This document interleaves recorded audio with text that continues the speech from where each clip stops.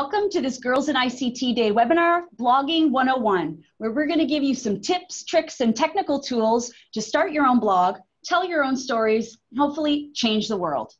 My name's Tia Mills. I'm a communications officer here at ITU. Previously, I've worked at Journalists for Human Rights and the Canadian Centre for Diversity, uh, doing social media and blogging. Hi, my name is Katya, and I also work as a communications officer at ITU.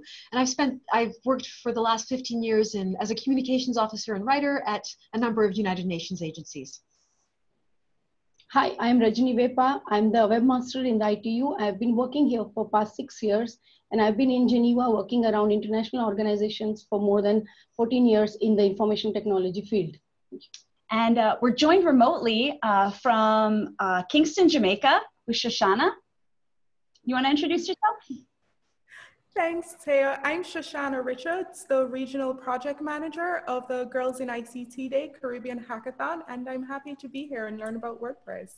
Great. Well, we can't wait to get started, so let's go. So uh, this webinar is going to be all about giving you tips and tricks and tools and hopefully inspiring you. So things we're going to cover today is what is Girls in ICT Day? What do we mean when we talk about the power of digital storytelling? And then I'm going to walk you through a technical tutorial for Blogging 101 on WordPress. Katya will give you some expert writing tips, giving you seven tips for better blogs. And Rajani, the webmaster, will talk about how to get found on Google, how to use tags, uh, and other great resources to help you promote your blog and to learn more. So let's get started. So what is Girls in ICT Day? Girls in ICT Day is the day to celebrate the power of technology to impact lives. And today, everyone everywhere needs tech skills. No matter if you're going to go in to be uh, into medicine or law, if you want to be a teacher or a writer, you need tech skills to get ahead, and they're going to be essential for jobs of the future. And now, to just give you an idea, these are 10 jobs that didn't even exist 10 years ago. And you can see up there social media manager, blogger. These jobs didn't exist 10 years ago. And these are very high paying jobs that you can get if you have the right tech skills. And now almost every organization has a blog, has a website. So having tech tools will really help you get ahead. And don't get left behind. The best way to be part of the future is to create it. And we hope today that we will inspire you to help create your digital future. So we live in an amazing time. We have digital tools that nobody could have imagined before. And just like how the printing press enabled people to print their own books, we have digital tools today that allow us to tell our own stories and change the world. Let me give you just one example. I was working at Journalists for Human Rights, and in Sudan, a journalist found that girls were dropping out of school because their school fees were not being registered at the school. So what did they do? They wrote a blog about it. Lawmakers found out about this blog, investigated the school, and helped girls get their school fees back and return to school. Now, that's just one example of thousands and maybe millions of stories that are helping to change the world. So, we hope that you will find interesting stories in your local schools, your communities, that you can help to raise the issue and hopefully change lives for the better. So I have the great privilege of working at the International Telecommunication Union as a full-time corporate blogger. And I get to tell stories about how our ICTs improving lives of women and girls, but improving lives of everyone everywhere. And I mean, just last week, I got to work with NASA to ask them, uh, what are they planning for Girls in ICT Day? I would talk to Plan International to find out how they're gonna run uh, programs in um, so many different countries. And I'm very privileged and very lucky to have this role. And I hope that um, I can give you some inspiration to maybe start your own blogs and start your own careers. So let's get started. You need to decide what platform is right for you. And there are many out there. These are just two examples of free and very popular platforms. One is Tumblr and one is Medium. They allow you to reblog and easily share uh, posts from other contributors. Um, but today we're actually going to focus on WordPress. So why WordPress? Well, actually, it's one of the most trusted web platforms. It's estimated that about 30% of all websites are powered by WordPress. So it's a very powerful tool. If you have WordPress skills, not only can you be a, a personal blogger, but corporations really need these skills as well. So if you go into corporate um, writing, you will definitely need uh, likely uh, to know how to use and uh, function on WordPress. So now let's get into some of the more um, detailed technical parts. So uh, in 20 minutes or less, I'm gonna give you three tips to get started.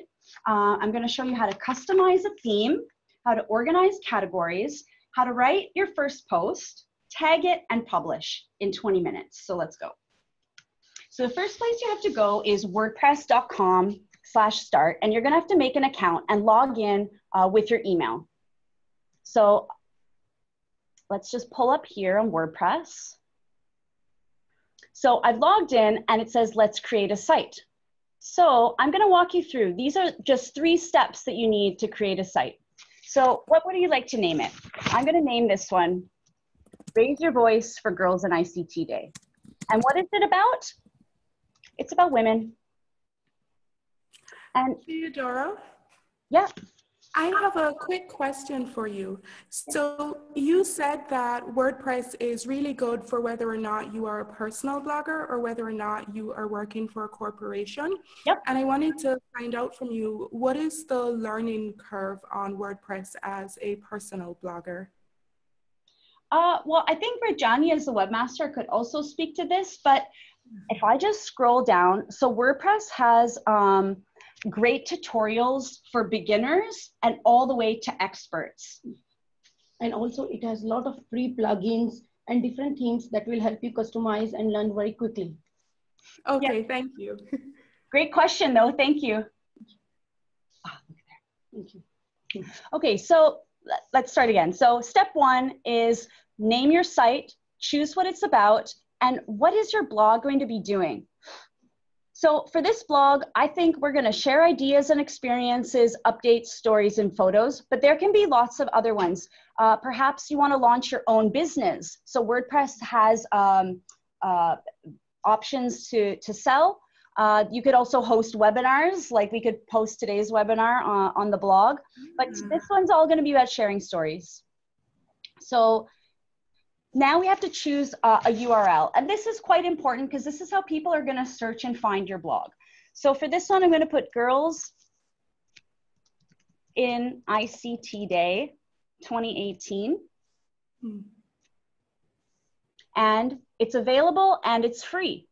There are other uh, domains that you might have to pay for, but there's many, many free ones. So just click one that's free. And again, there's different um, payment options. Again, just go for the one that's free.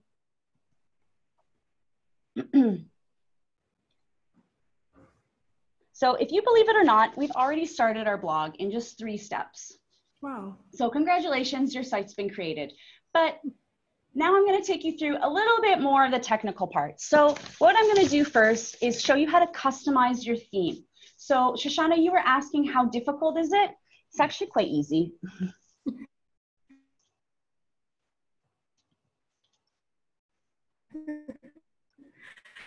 I actually had no idea that you could get free. Oh, can you say that again? You broke up. Oh, it seems like Shoshannah's video's um, a little bit interrupted, so we'll just continue while she uh, gets back on. So we were talking about how to customize a theme for your site. So actually, it's very easy. You just go to this uh, side banner and click themes, and that will bring you through dozens, if not hundreds of free themes. And each theme can be further customized, giving you unlimited options for your blog. So you can search through and find one that appeals to you. I like this one. I like the colors. I think it's interesting. It has a really nice photo. So I'm going to choose this one. So the theme that I chose is called Karuna. And then all you have to click is activate this design free. And it'll just take a minute.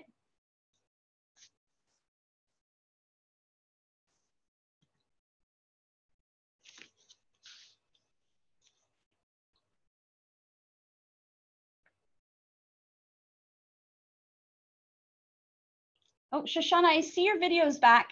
There you are. I'm back. I'm back. Okay. I had a quick question. Okay. So I see that you chose Karuna, which is uh, seems like a really simple design, and I wanted to find out if you had any tips uh, for which is may, maybe the easiest design template to choose. Sorry, come here. What's the easiest uh, design template? But these are all ready-made. These are the built-in templates that you can use. So you don't need to make any uh, changes to Mhm. the website because you, there are different uh, templates based on the theme that you want. Like if it's a news site, there are different themes. If it's a sports website, then it's a different theme. So there are lots of free options online on the WordPress. Okay, perfect.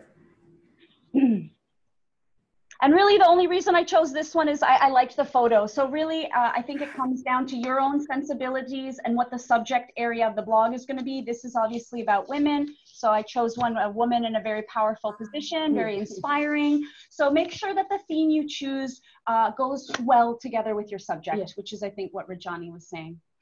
Um, so already we have created a blog, we've chose our theme, and now the next thing we're going to do, which is really important, uh, is create a post. So I'm going to walk you through just a few simple steps to create your first post on your blog.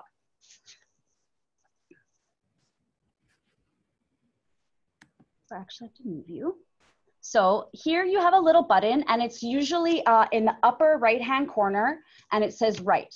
So you would click on this.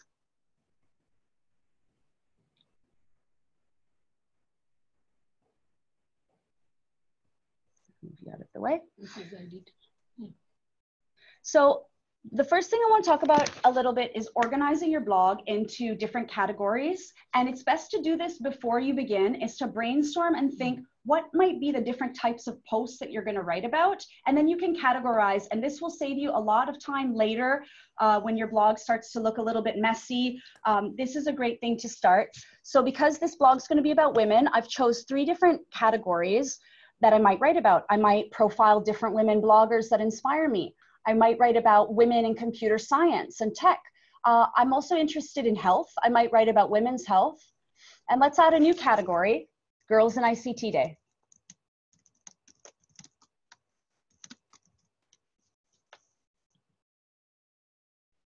So here you can have an unlimited number of categories. Um, and every time maybe you get a new interest, you can choose uh, to create a new category. So that's the first thing. Now let's write a post. Three tips for blogs. How about three tips for your blogs? My first tip is to choose images that are compelling and interesting, engaging. Every, um, every blog should definitely have a photo. So how do you add a photo? You click on the add button and you go down and the great thing about WordPress is it has a free photo library that you can choose from and it's powered by Pexels and you can search from thousands of free photos. So what do we want to look for? Maybe a photo of a woman, uh, maybe she's happy, maybe she's a writer.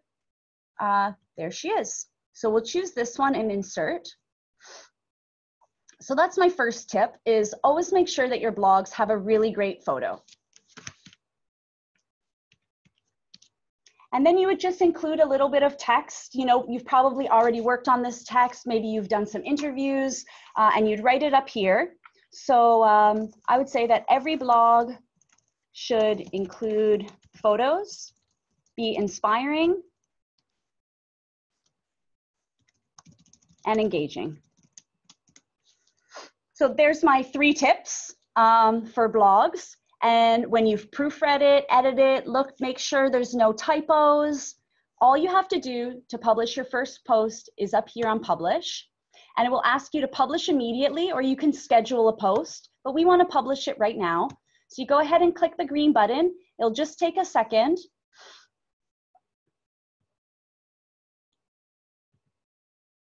And now your post has been published.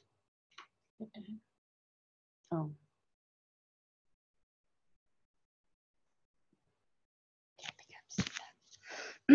so already in less than 20 minutes, I've showed you how to start your blog, choose a theme, and write a post. So maybe we'll stop here. Shoshannah, do you have any more questions about the more technical aspects of starting a blog? So I'm pretty amazed at how easy WordPress is. Mm-hmm. I had a question about choosing tags. Okay. So I know you said that we should choose tags before we start the blog, but yep. I wanted to know if you had any tips for, you know, how I could think in my head about how I categorize my work. Sure. Well, I think there's two two overall principles. So you can either choose the subject, so you know, women's health, women's fitness, women in tech, or you can choose the type of post. So if you think that you're going to be doing a lot of videos or podcasts, or maybe you're a photographer, you might want to uh, categorize it as type of post. And then you can categorize that if it's a video, type, uh, categorize as a video. So there's two different ways, either by subject or type. Okay, thanks for that, Thea. Okay, you're welcome. Um, so I think that brings us to the end of the more technical elements of the presentation. So I'll just head back to the PowerPoint. And so I really thank everyone for your attention. And now I'm really excited to pass it over to Katya, who's gonna give us seven tips for better blogs. Thank you so much, Taya, for those yeah. really helpful tips. Uh, I indeed will give you seven tips for better blogs. And first, I'm going to start with why. I understand that you will be using digital storytelling to solve a high priority challenge that's faced by your peer group. And that's great because digital storytelling is a really effective way to make a difference. Stories move us, they change the way we view the world, and they can inspire us to act. And uh, technology has made doing this a lot easier. We can tell stories and fight for change from the comfort of our offices or our classrooms. And we can reach people we would never be able to reach and influence them. Um, and so I just want to say also that did you, uh, nobody expects you to change the world all by yourself. But if you create an online community who support your cause, you have more power to reach politicians who are empowered to make decisions on your behalf. And so we're moving on to my first tip. My first tip is once you've identified the issue you're going to work on, brainstorm and strategize. Decide what the goals of your blog are. Is it, for example, do you want your, the readers to write a letter to your MP, to their MP, or to crowdfund a project? Or do you simply want to know that you've raised awareness about the issue? Um, once you decide what your goal is, it becomes easier to decide what your audience and key messages are. For example, if you decide that what you want to do is help to reduce road death by, by getting people to use more seatbelts, you might decide that your audience is the wide public, and one of the messages is wear a seatbelt because it will save your life. It's that simple. Or you might um, want to decide that your audience is decision makers and you want them to have to create stronger regulation on wearing seatbelts. In that case, your message to them might be use, using seatbelts will save 15,000 lives in a year or, or that kind of thing. So your blog can be either poetry, spoken word, photo essays, songs, videos, or uh, opinion pieces, news articles, or, or stories. And think about uh, what sources of information you'll use. You can go to the library and look at, get lots of really useful information. You can also get really great uh, websites that use, that have reliable statistics. Uh, but I also want, it would be great if you could also interview people. It's important to uh, talk to policymakers or artists or activists or people working in the government, or maybe you know somebody you meet in the park has an important story to tell about your issue. And then next thing you can think about is how will you measure your impact? And this goes back to your goals. So uh, for example, if you want to raise awareness, you might measure your impact, your impact by counting how many views your blog gets or how many shares and how many likes. So the other tip is include the elements of a good story. So to, if you're doing a video or writing a story, you want to appeal to your reader's eyes, head, and heart. So storytelling is about, especially when you're writing, storytelling is about showing. Um, you want to write about people, things, and events using talking about colors, images, and sounds. There's many ways to bring your story to life. You can also uh, think about tugging at the reader's heartstrings by telling about how a real person had a problem and solved solved uh, the problem. I, will just give you an example from my own personal experience. I was working at the World Health Organization in the area of malaria, and I was sent to uh, a village in Africa to uh, talk about one of the uh, access to medicines uh, initiatives we had there. So I interviewed mothers and how they were able to, their, their children's lives were saved because they had access to medicines. I found that myself really moving because I got to know the mothers, I wrote about them, they had names and stories and hopes and fears. And for me, that was very moving. And uh, the next thing that you might want to think about is connect the individual story to the larger problem. I, in this story, for example, I talked about malaria. Malaria kills one child in sub-Saharan Africa every 60 seconds, and that amounts to up to 1 million children per year. And I think that's an important to talk about the extent of the problem, but it's also interesting to talk about the impact of the solution because it's tiring just to hear about a problem if you don't know what you can do to make a difference. And here the solution is if you have $6 billion per year for the next 20 years, you can get rid of malaria.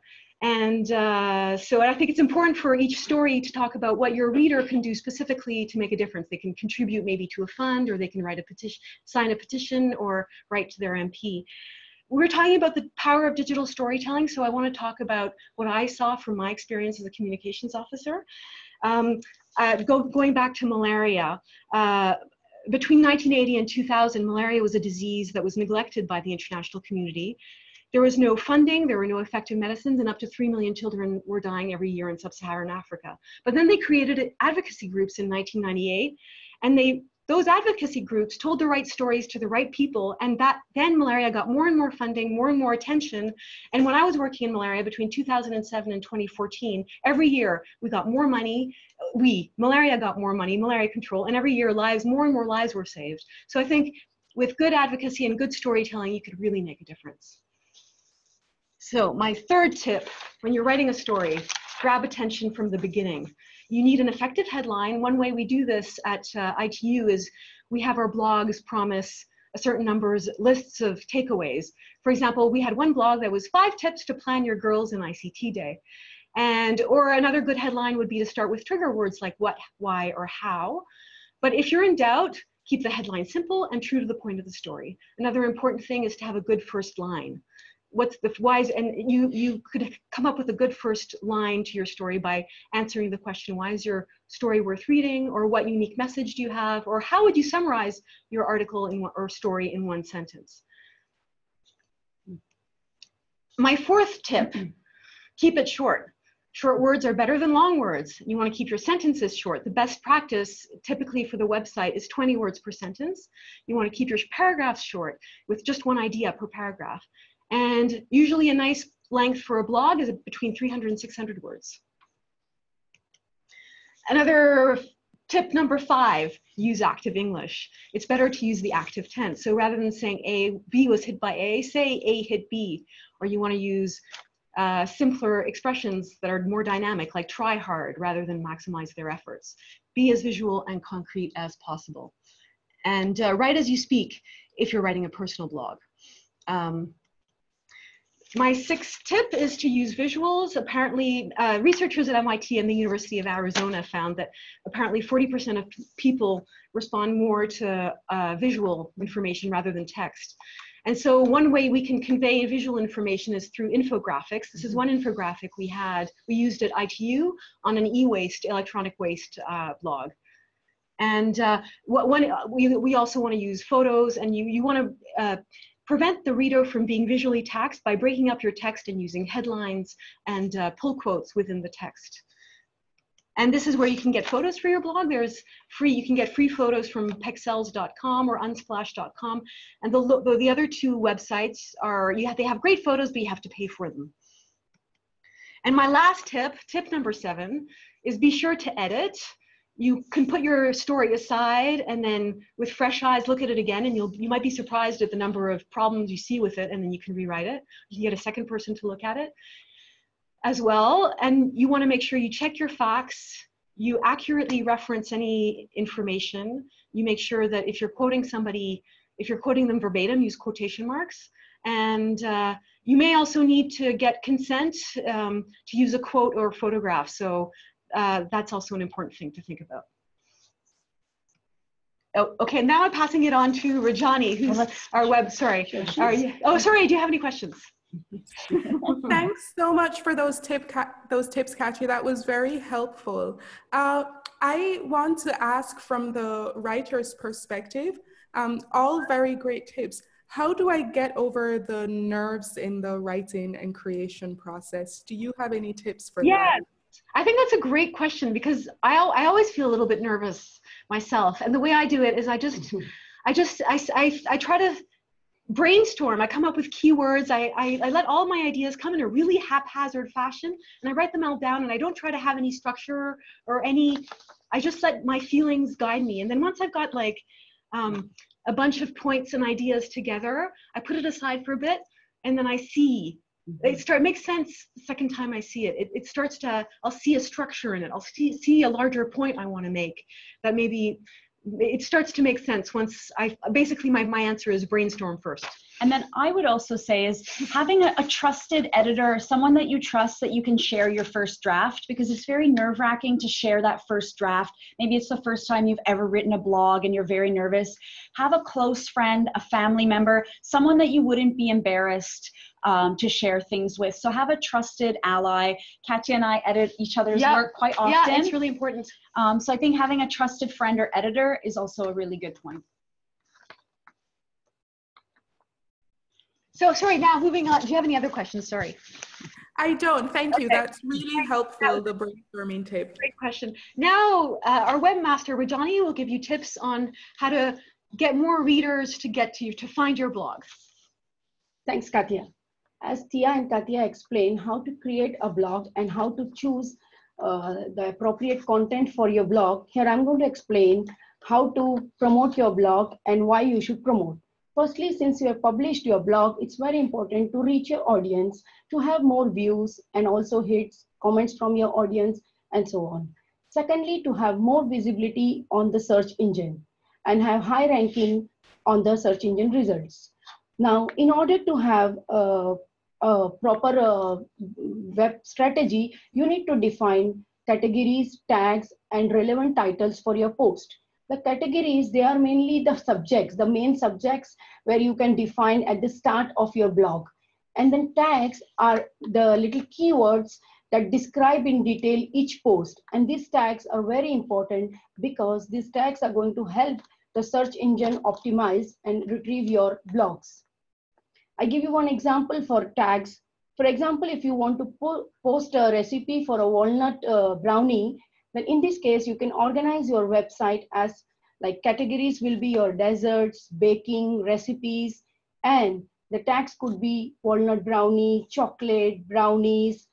And uh, when you're posting your blog, these tags can be attached to your text, videos, photos. The same text can be used at various places within the blog. And this same blog, uh, this uh, this related this uh, this tag that we have attached to different elements inside the blog will help us retrieve related blogs from the search engine. So that means it gives more visibility when you are searching your uh, blog on the internet. Yeah. Further, furthermore, to uh, promote your blog, we use social media channels like Facebook, Flick, Flickr, YouTube, LinkedIn, Instagram, Twitter, and uh, uh, to have uh, also these each of these social media have their own optimization elements. So it is very important for us to continuously learn the different elements and their optimization methods. For example twitter uses hashtag facebook uses adwords tags. All these are different optimization tools that are used by the search engine to give the visibility of your blog Last but not the least, we should continue learning. And here are some more links to the webinars that will give you more knowledge on the WordPress. Thank you. Yeah, that's a great point to end on, Rajani. I think about Thank all you. these technical tools is about continuous learning. Sure. Yeah. And um, because the technology changes rapidly and we need to upgrade our skill sets. Agreed. That's I learned important. about SE, uh, search engine optimization for my for my for first time at ITU. So we, we're always learning. So that brings us to the end of today's webinar, and I hope that this has helped you learn and at least helped inspire you to create your own story and to take up these tools to create your own future. So thank you everybody for joining us. Yes, and sorry, Shoshannah, did you have any additional questions? I didn't. I'm just really liking the webinar and just how easy it is to do WordPress. I've always been a little intimidated by it, but I think all three of you have done a really great job at breaking it down and just showing how simple it is. So thank you. Thank you. Well, thanks for everyone Yeah. joining Thank us and have a great Girls in ICT Day. Yay. Thank you. Bye.